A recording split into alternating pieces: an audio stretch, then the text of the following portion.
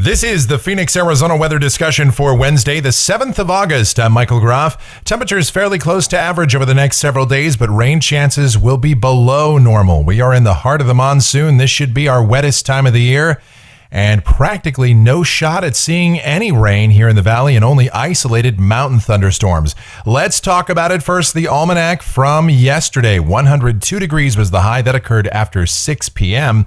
Most of the day was spent under cloudy skies. The low was 89. Outside right now, here just after 8 a.m., we've got mostly cloudy skies out there. 91 degrees presently at Sky Harbor, the dew point at 66, humidity 44%. The winds are light and the barometer is steady. Temperatures out there right now 80 degrees, the cool spot at Fort McDowell, 82 up on Thompson Peak, but most of us are in the upper 80s to middle 90s. The upper air look, high pressure is slowly being pushed off to the east in response to a developing trough along the west coast, and that will be the big player in keeping us dry for a while around here. The watch warning map, we've got heat advisories over parts of the northwestern states in the Great Basin up through Oregon, Washington, Idaho, and some heat advisories as well with that building ridge over the southern plains, a severe thunderstorm watch in parts of eastern Kansas. And the severe weather outlook for today, we've got the slight risk in effect for the middle Atlantic coast up through sections of New England, as well as southeast Minnesota, much of Wisconsin, and eastern Kansas and Missouri, with the broader marginal risk extending from the plains through the Midwest into portions of the deep south, all the way up to the northeast. All right, the precipitation outlook valid through next Wednesday morning from the WPC. Rain amounts here in the valley, not a whole lot, maybe a few hundredths of an inch. Heavier totals for the White Mountains and parts of southeast Arizona and along the southern border. Any one spot can get more than what's shown here. This represents an average but we are going to dry out over the next several days, and we'll detail that now as we take a look at the models. Check it out. This is the GFS, the 06Z run valid at 2 o'clock this afternoon. There's our upper high being pushed off to the east, a southerly flow mostly across the area today, and uh, quite a bit of moisture in the mid levels of the atmosphere, say between about 10 and 15,000 feet. So, what that means for us down at the surface, Mostly cloudy skies this morning, becoming partly cloudy this afternoon. Less cloud cover than what we saw yesterday, certainly. So we'll warm up a bit. Highs 102 to 105, but it will still be muggy. Tonight, an isolated shower or thunderstorm over the mountains, certainly, and maybe one of those tries to get into the deserts, but I just don't see that happening here in Phoenix. Lows tonight mostly in the 80s, and then tomorrow, again, we'll do it up with partly sunny skies and high temperatures a little warmer, 104 to 107.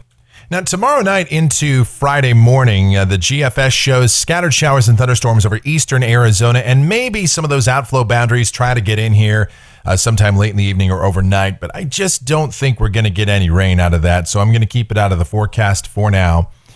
And then Friday looks like a partly cloudy day, and highs again pretty close to average, which is around 105. Over the weekend, we should really start to dry out as that trough along the west coast continues. Broader southwesterly flow continues. The high, our subtropical high, sits pretty much right over top of the Dallas Fort Worth area. So they'll be baking. We'll be warm, but seasonably so, and drying out. High temperatures on Saturday, um, somewhere around 105 again, and maybe a degree or two cooler on Sunday, thanks to the influence of that trough passing well to our north and conditions drying out, only isolated thunderstorms in the eastern mountains. Now, on Monday, there may not be any thunderstorms statewide, and even if there is, just maybe right along the New Mexico Arizona border. But we should stay dry here in the valley. High temperatures uh, probably around 100 to 104. And then Tuesday will warm up a little bit, but look at that. Statewide, dry conditions if this verifies, and we almost never see that here in the heart of the monsoon. Let's go out to a week from today. This is Wednesday, the 14th. That's a dry pattern. We've got high pressures sitting off to the east and south, and mainly a southwesterly to westerly flow aloft. Just does not look all that favorable for advecting moisture in here. And then going out 10 days, this is the end of the forecast period, Friday the 16th. And that still looks pretty dry with a trough passing through the Intermountain West, the Northern Rockies. Uh, a drier west southwesterly flow continues. This is the heart of the monsoon. We should be seeing scattered to numerous showers and storms over the mountains every afternoon and trying to get into the into the deserts, and we are just not going to see that for most of next week. And there is pretty good agreement among the global models about this solution, and that is the worst news for us. All right, checking out the temperatures through the period coming off of the GFS ensemble. Highs pretty close to average, or maybe even a couple of degrees shy of that for the next several days. But then as we get to next week or so, we'll warm it up a bit.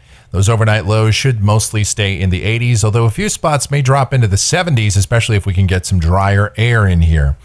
All right, that's going to do it for the Phoenix, Arizona weather discussion for today. My next video back here tomorrow morning. If you like our videos, be sure to subscribe so that whenever we post a brand new one, you'll get the notifications.